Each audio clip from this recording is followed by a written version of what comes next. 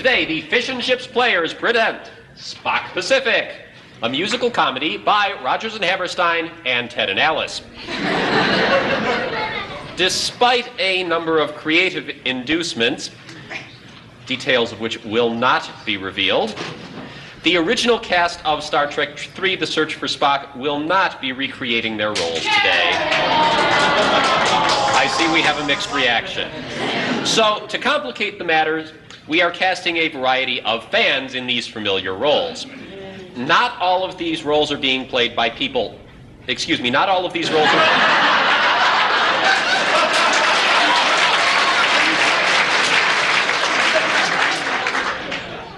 That's the way Scott Card delivered the line. I was told you will deliver it that way. Not all of the roles are being, being played by people of the same sex as the original characters. So we think some introductions are in order. First, and of course foremost, Admiral James T. Kirk. I read. I read from the official Starfleet biography. Five feet ten inches tall, brown hair, hazel eyes, cute little bun. Highly intelligent, armed, and extremely dangerous.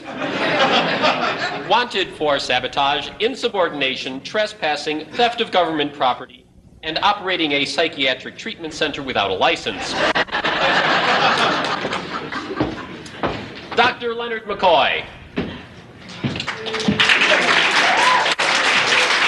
Uh, Jed, uh, we've got a problem with one of the lots in sick bay.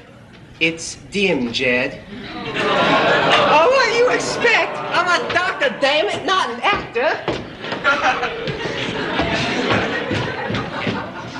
Next, Captain Spock. This is this is a visual. Can we have? Thank you.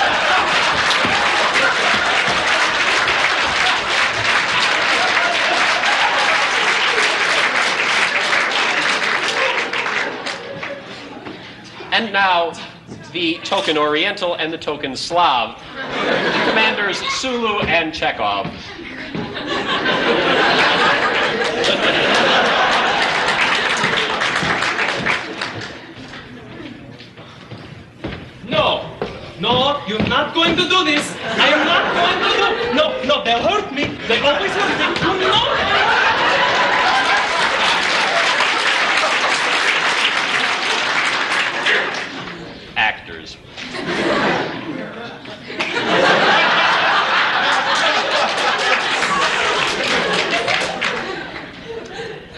Saavik and Dr. David Marcus.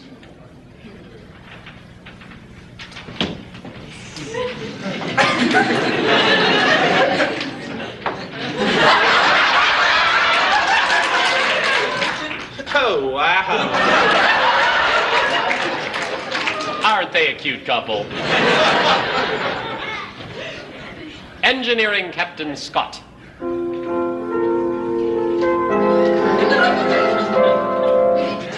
The piano can't take much more of this.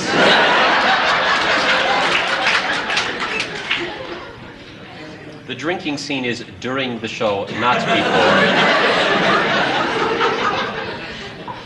Vulcan Ambassador Sarek and her venerableness Tada.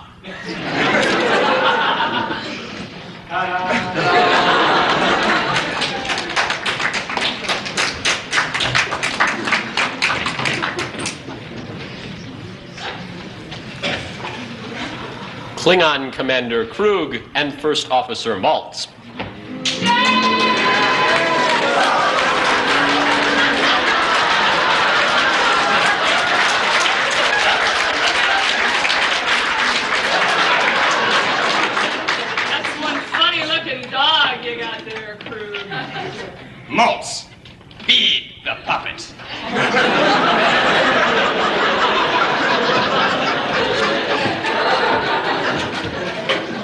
I think Maltz was the furry one. and now, the captain and crew of the USS Grissom. Well, wait, Captain and crew of the USS Grissom. Um, seven letter word for villain.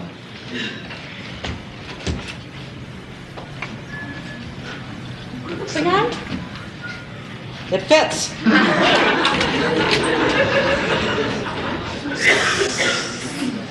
And now, ladies and gentlemen, Spock Pacific.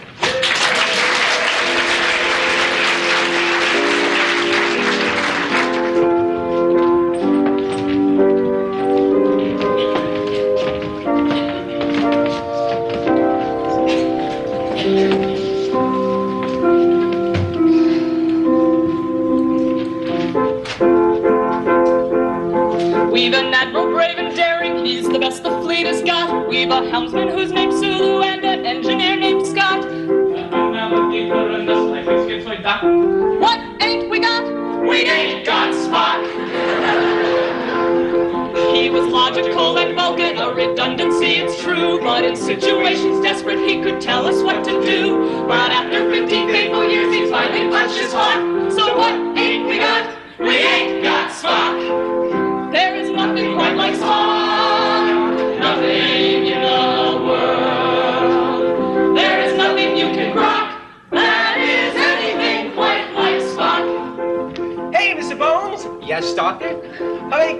does it take to screw in a light bulb? Two. One to do the work, and the other to shoot him and take the credit. No jokes like a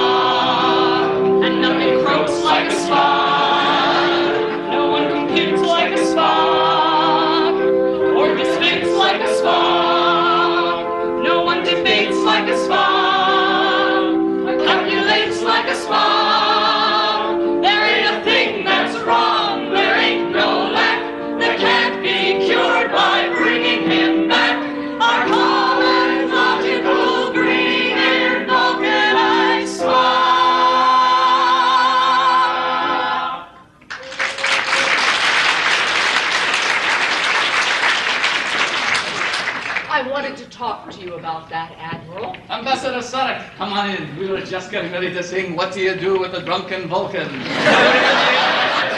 Put him in until he's going, put him in until. Kirk, I must speak with you alone. Ambassador Sarek, of course. You'll excuse us, gentlemen. All right. This Klingon, this human, and this Vulcan walk into this gay Andorian bar. and this Tellarite comes up to them and says, You've heard this one before.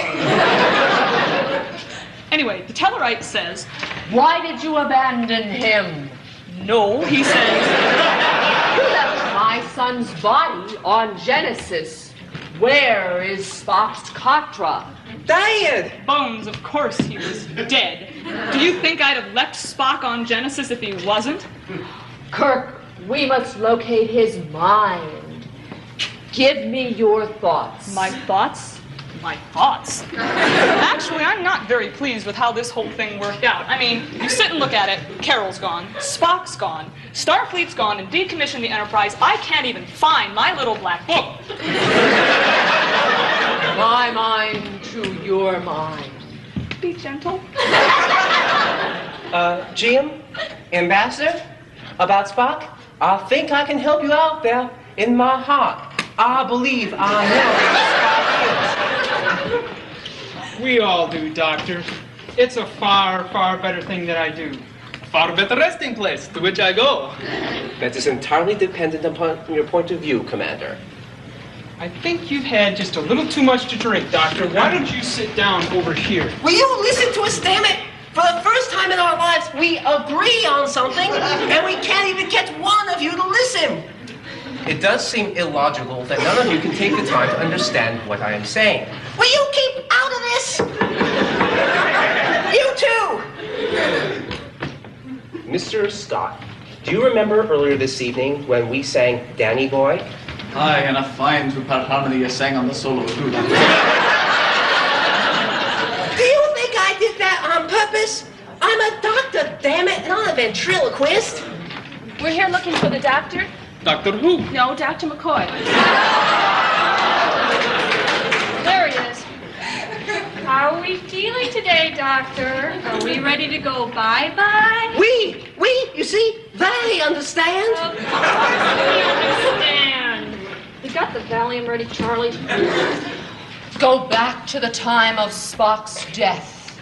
Give to me the memories of everything that happened on that day. Show me everything, every detail, just as it was.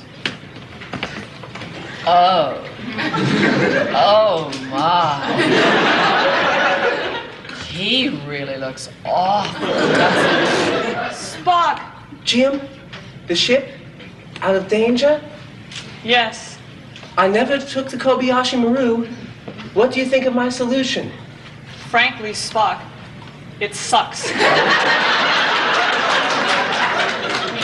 I wish it didn't have to end this way.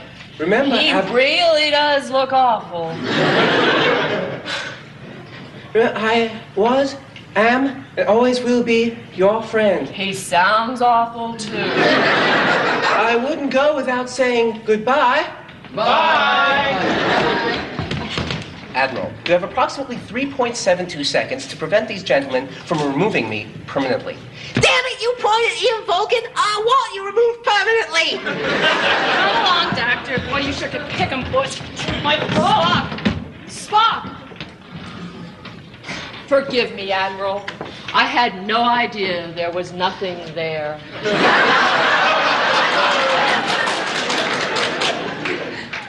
You don't believe that Spock is dead.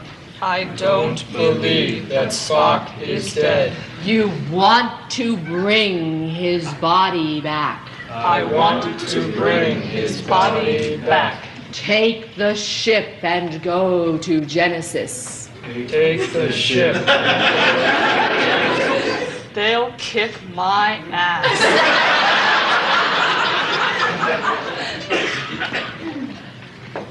Morrow, Kirk here.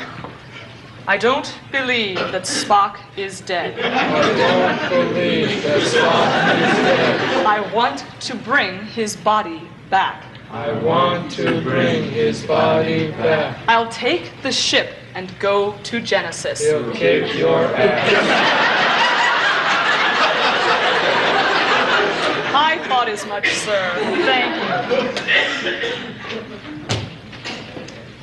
Well, I don't know. What's the word? Gentlemen, the word is no. So, of course, we're going anyway. because I don't believe that Spock is dead.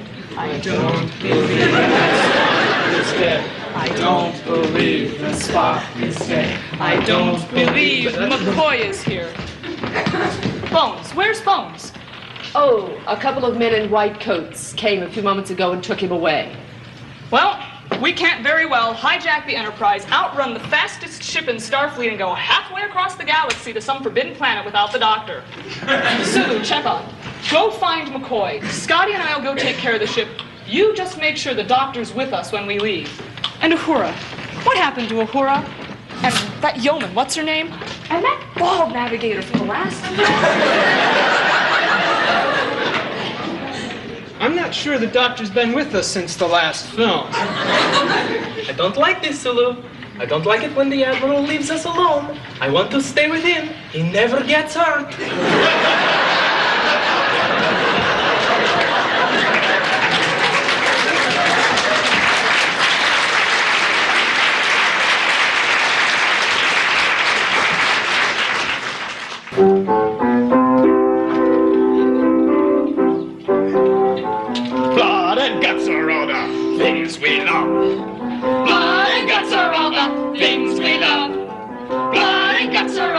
Things we love. Now ain't that too damn bad?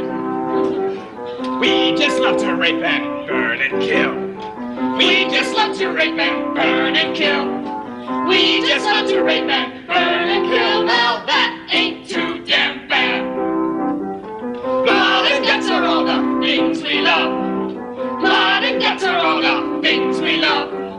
Blood and guts are all the things we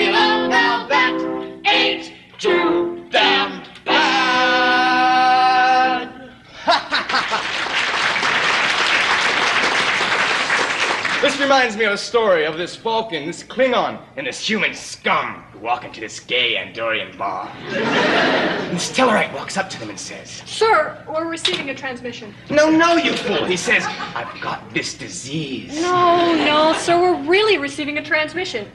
It's from the USS Grissom. It's our spy. Excellent. Everyone, put on your disguises.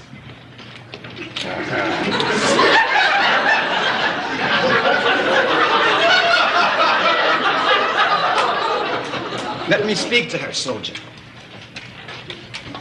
Ah, Lieutenant Saavik. Have you had any difficulty on your mission?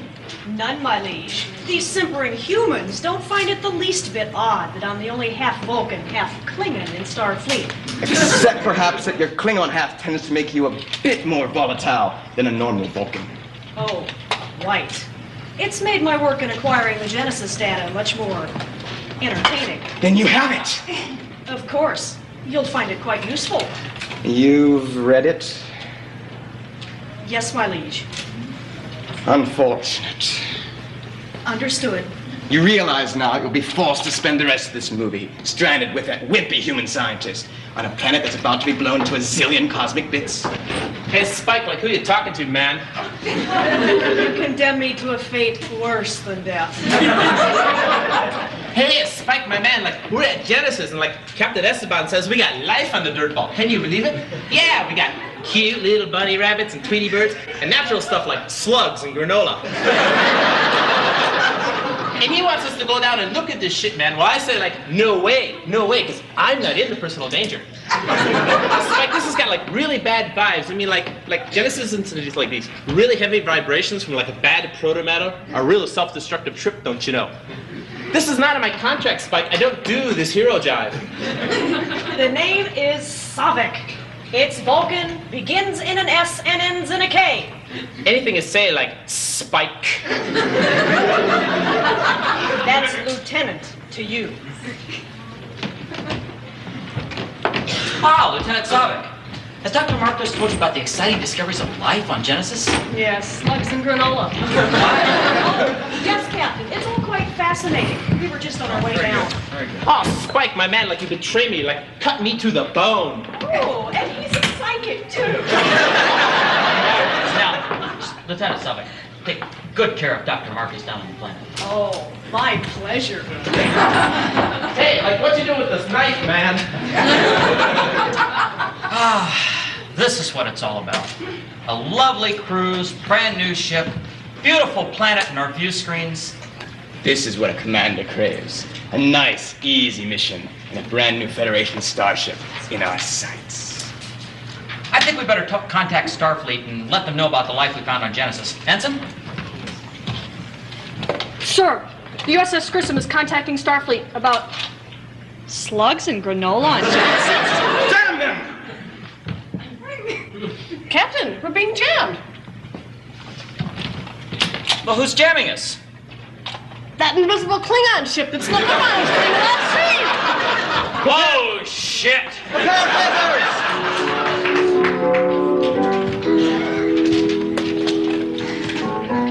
We are phaser locking phasers locked on that wimpy human crew. We've got to hear them scream. If we don't hear them scream, how we gonna make our dreams come true? We are panicking and running fast. The Klingon ship is on our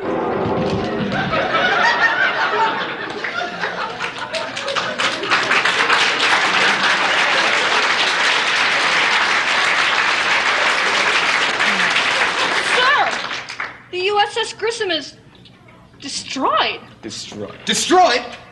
You mean to tell me we scored a direct hit on a Federation star cruiser and destroyed her? A lucky shot? We've never been able to destroy a Federation starship before. If we destroy one now, that means Enterprise will come. Oh, shit!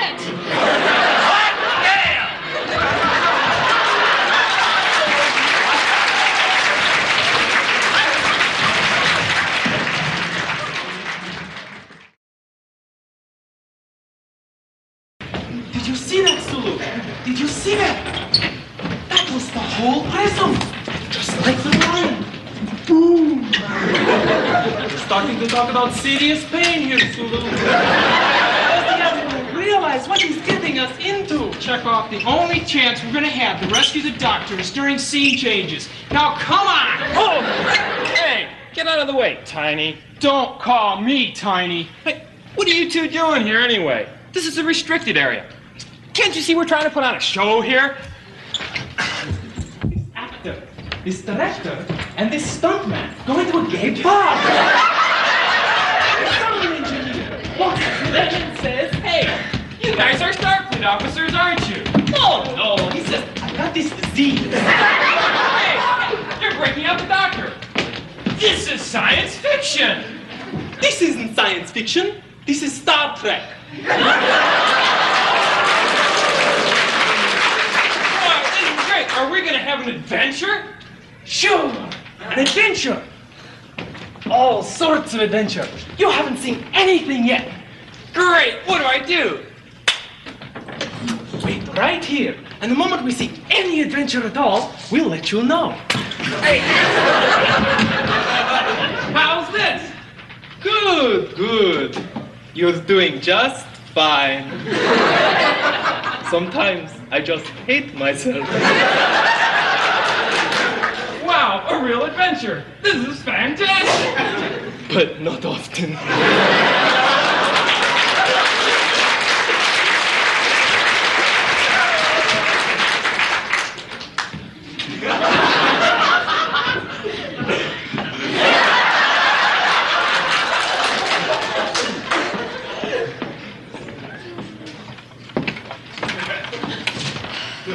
Must be granola. I don't know about this, Kruge. I don't know about this either. No, these disguises. What is it now, Maltz? These disguises. I can't help feeling like they're, well, a little silly. And awfully transparent. Not transparent. Subtle. We must employ these disguises in order to maintain galactic dominance. Must look different in every movie to keep the humans off balance. Your glorious Klingon Empire expended thousands of loyal citizens, bending all these stupid little prongs backwards, just so your disguise would stay on right side up. Now, I don't want to hear another word from you about the quality of our glorious Klingon equipment. Yes, my liege. Now, as to that Twinkie of a human in the company of our noble spy. They've been wandering around in circles ever since they picked up that Vulcan child. What Vulcan child? The one that's grown three feet in the last two hours. A Vulcan child with three feet? I don't know what to make of it. Make nothing of it now. Here they come. Everyone, hide.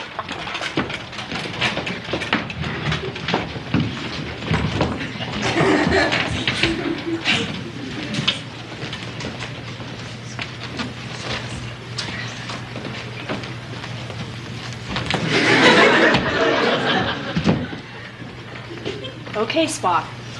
Repeat it back to me just the way I taught you. Delta Y at pi. For calculating Integrate at 8. to LF, no. Square of chi plus i. Quite fascinating. So you see, Thoroughly logical. Hey, Spike, like, what you doing, man? Just teaching Spock an old Vulcan nursery rhyme that contains all the rudiments of intelligence even the most feeble minded child must learn. But, like, I didn't understand any of that.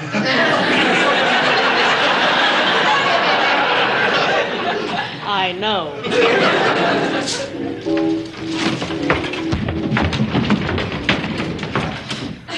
Oh, Spike, it's like such a total, such a total downer that the Grissom blew up. I know. This place is a pit. Well, like, at least we won't be down here very long. Why not? Because, like, there won't be a down here very long. Wait a minute, Marcus. I think it's time for a little honesty here and a lot of plot exposition. Is what you said earlier true? You actually used protomatter, the most volatile, uncontrollable substance in the known universe, to create a totally unstable planet that's going to undergo more and more severe cataclysms until it blows itself to pieces? You stranded us on a dust bowl that can't stand up to the strain of its own existence? You would do something that irresponsible? That dumb? For sure. Well, while we're on the subject of honesty, I've got a little secret I would like to let you in on. What's that?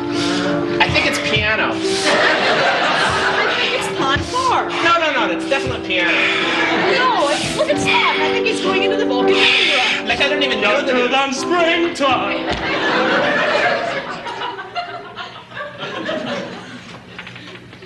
Hey, Spike, like what happened, man? A 15 second Pon Farr. the ultimate quickie. Like gag me the Horta man. Dr. Marcus. At long last. Oh, wow. Groucho Marx. What a pleasant surprise. A pop brain human scientist. A Vulcan child with three feet. ah, and a Starfleet fleet officer who is half Klingon and half Norwegian. Take them.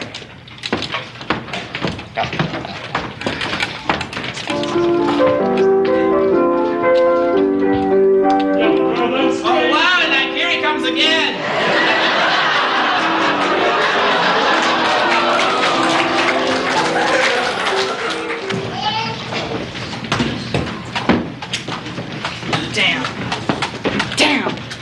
Chekov and Sulu should have been back hours ago. I should have known something like this was going to happen. I mean, look at where we are. This entire plot is just too damn simple. How's it going? This should do it. I've got all the ship systems rewired through the piano now. we ought to be able to run everything from here, so we'll be ready for a test in just a few minutes. Good job, Scotty. Chekov, Sulu, what happened? Did everything go all right? What took so Well, long? there was this prop man, and we had to, All uh, right. On second thought, ignorance is bliss. Take your posts, gentlemen.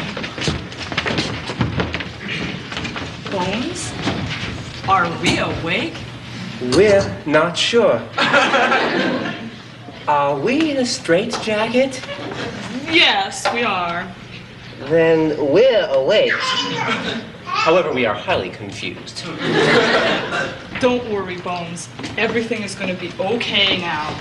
That's what you said at the end of the last movie. Trust me. So, we're ready to test her now. Hit it, Mr. Scott.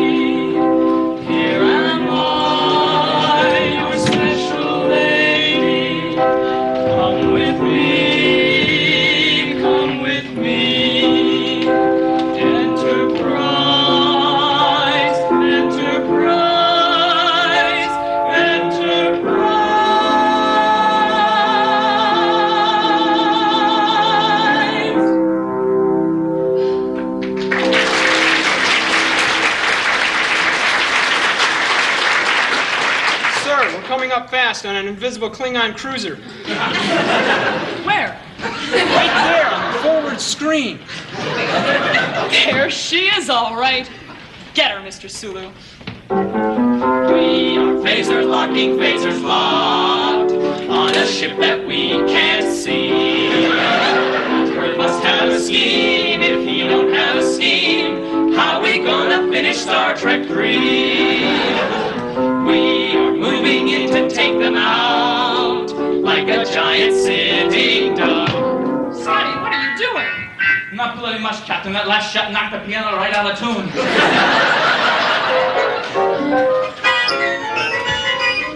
There's nothing I can do about it, sir. This sort of thing takes tuning forks I just don't have.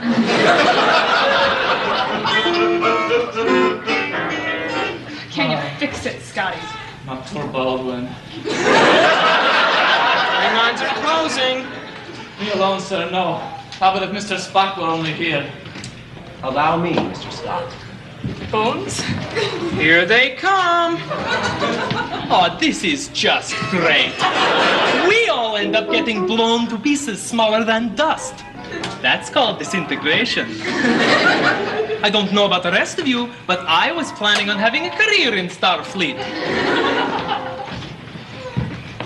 It's dead, Jim.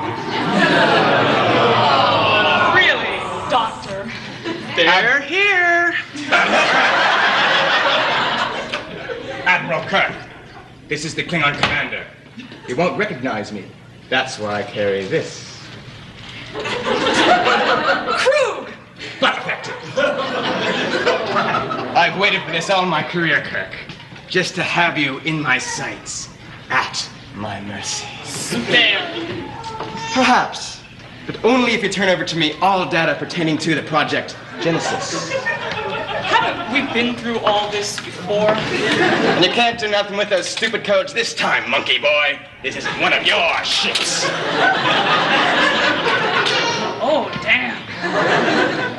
And just to show you that we're telling the truth, Admiral, we will now assassinate one of the three captives we have on the Genesis planet. Three. Uh, David. Sonic. Spot. Younger than springtime. Oh, he's in pon farr, too. Or was. Kill one. Oh man, like why don't you just kill Spock? I mean, like he's already dead. I mean, like who needs an artichoke with a sex drive? oh, Saavik. Call me Spike. Admiral, David is dead. Ah! You Klingon, you killed my bastard!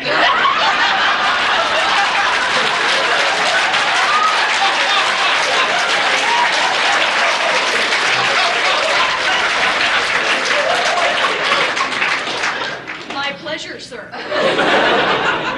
Are you sure that he's like dead? Quite. Life's like that. Admiral, you have two minutes to turn over the Genesis data to me. I'll be waiting. Well, that's it. We blow the ship. What? Jim, you can't just destroy this dream, this legend, this... Bones, we have no alternatives. There are always possibilities.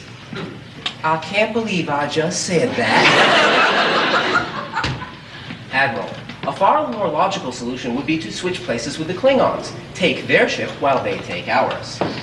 Send me down to the transporter room, Admiral. I'll throw in a sonic hand grenade just as they're materializing. They'll never know what hit them. Admiral, I can suspend them in transport. I'll lock them in the piano. We can put creatures in their bodies.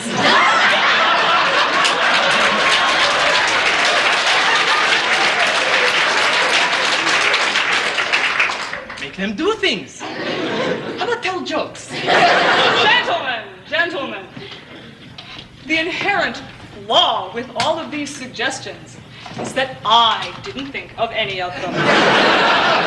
Therefore, they're not valid. We blow the ship.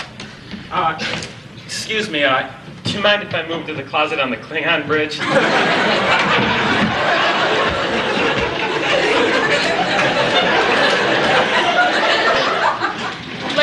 sequences for.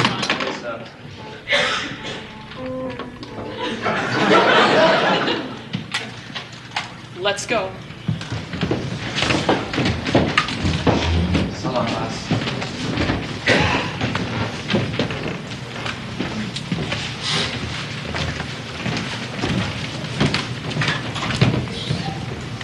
Sir, there's nothing here. Just an old piano. Piano? Let me hear it.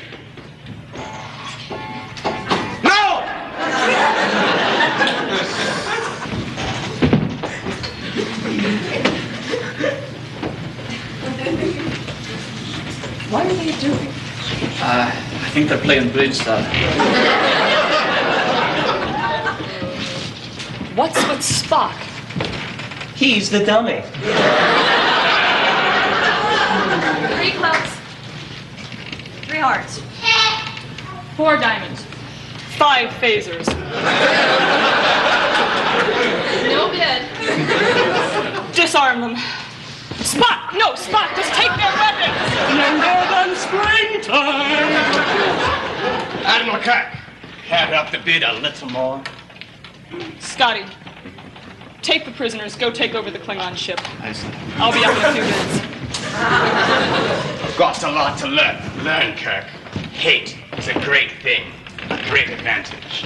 I killed your son, ruined your career, destroyed your ship. I know you hate me for these things. But do you use that hatred? No. You just stand there and let me lecture you as if you were some simpering female. a Klingon would never do that. You have been taught from a very early age. Carefully, carefully taught.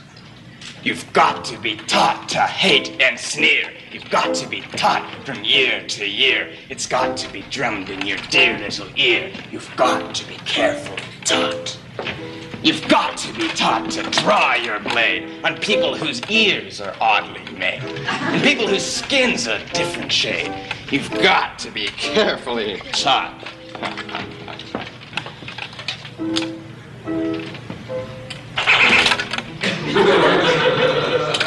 Admiral, you're a fast learner.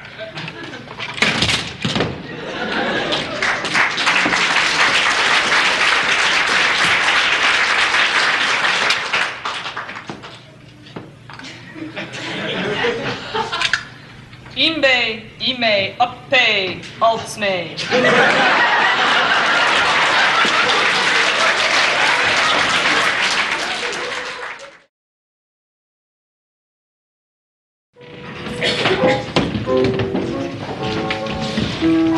I don't touch that.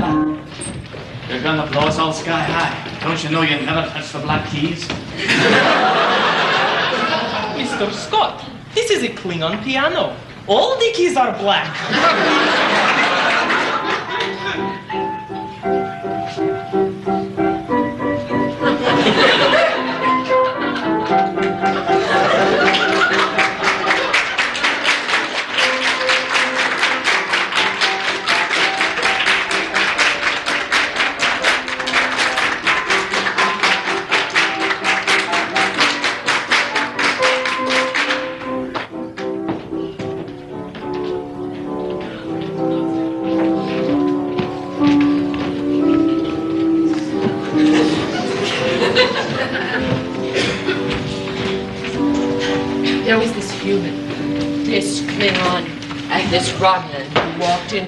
into a gay Andorian and this Tellarite walked up to them. He says, Admiral, I don't know about this Vulcan hocus pocus. Do you think they can put Spock's mind back in his body? I don't know, Sulu. But we're gonna have to trust them. After all, it was a Vulcan that got us into this in the first place. Cheap humor, Vulcan mysticism, and a Klingon ship. Oh, hmm. Klingons. Speaking of Klingons, what did we do with the Maltz, gentlemen? we locked him in the closet. With Mr. Adventure?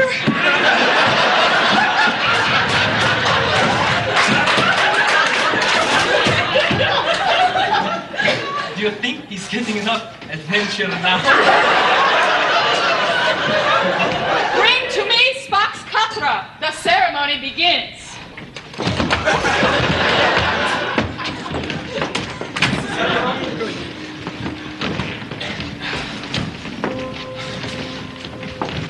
Kirk, do you understand what is going to happen here? I'm not sure. Spock's body has been without guidance for a very long time. Even after the transfer, he may not be completely whole. He may have forgotten everything of his past life. He may very well not be the Spock you thought you knew. But if he isn't Spock, who will he be? Fascinating. Oh, damn it, Jim, you got us in the wrong bodies.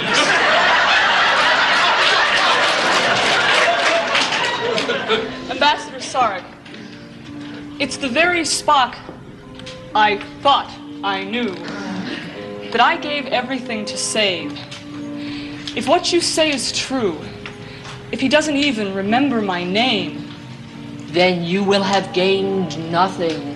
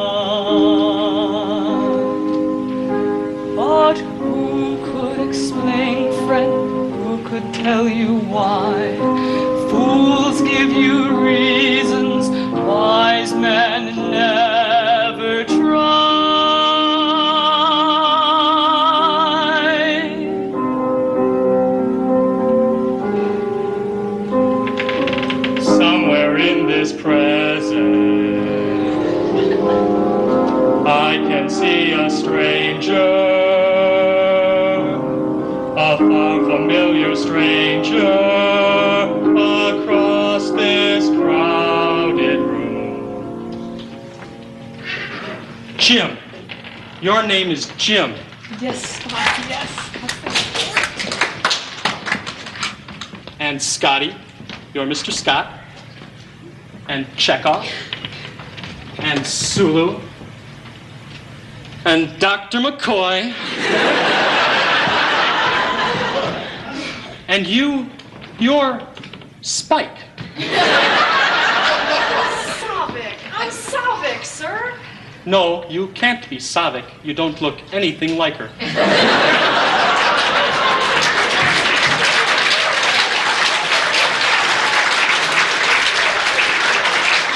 all of you. I remember all of you.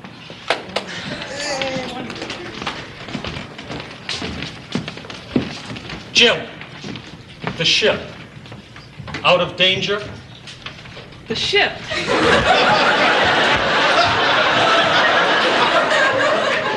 Ah, the ship.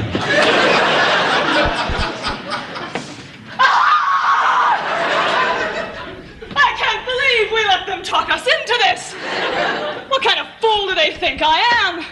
I'm a hero. I can get us out of this.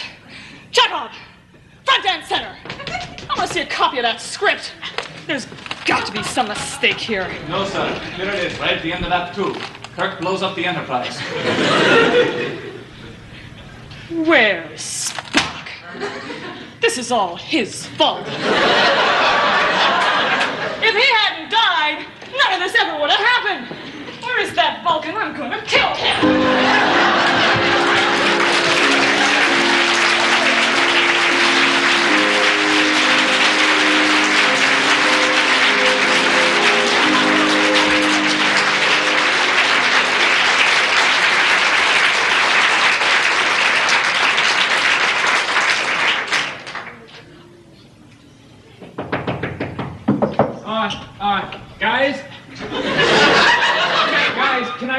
can I come out of the closet now? Uh, guys? Oh, guys?